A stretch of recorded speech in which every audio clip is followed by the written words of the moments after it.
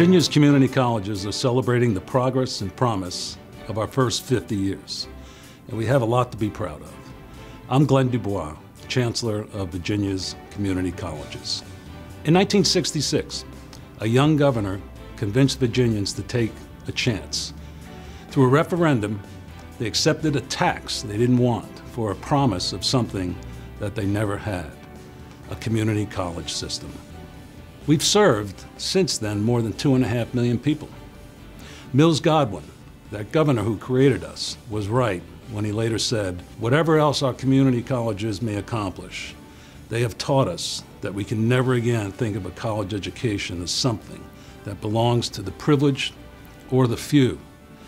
Our mission is both urgent and timeless. We were created to do what no one else would do to address Virginia's unmet needs in higher education and workforce training. Our world evolves, our communities change, our colleges move from training punch card operators to preparing cybersecurity analysts. Our mission shines. So where do we go from here? What does the next 50 years of community college education look like? What's today's big challenge, the big unmet need? Well, we think we know what it is. We're going to strive to see a college graduate in every Virginia household. Every household. That's an audacious sounding goal, but it's a necessary one. Labor economists say that 97% of America's good jobs, these are full-time positions with health care and retirement benefits. Those jobs have gone to college graduates since the Great Recession ended. And here in Virginia, we must fill one and a half million jobs over the next decade. As many as two out of three of those jobs will require a post-secondary credential, ranging from an industry-recognized certification to an associate's degree and beyond. The American dream is an amazing story. We've reached a new chapter, however, where just working hard is no longer enough.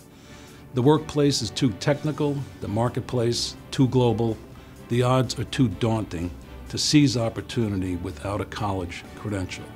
So for our next 50 years, Virginia's community colleges will convince every family that not only is their child college material, but he or she simply must become a college graduate.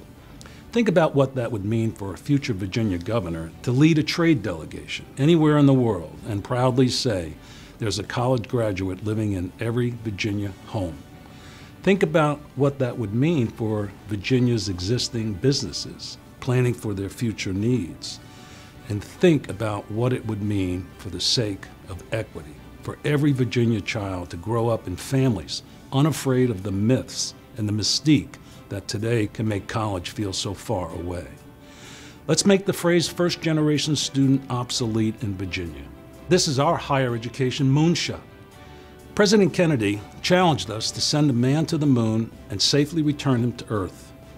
America accomplished it in less than eight years.